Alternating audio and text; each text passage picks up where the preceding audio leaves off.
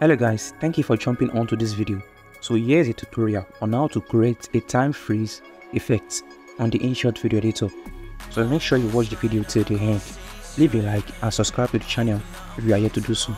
So with that being said, let's get started. Create a new video with a clip.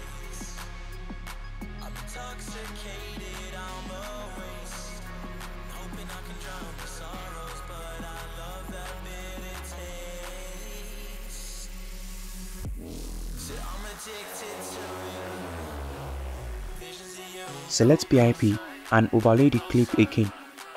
Tap autofill. Select mask and mask out the area you want to freeze.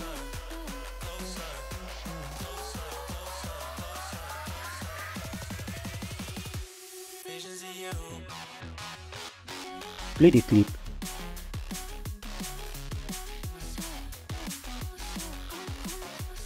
Stop at the middle and tap freeze.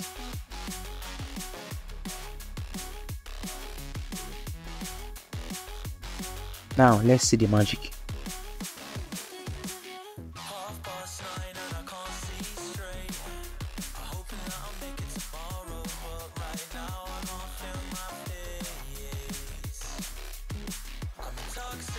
Thank you so much for watching and much love I got for you. Peace.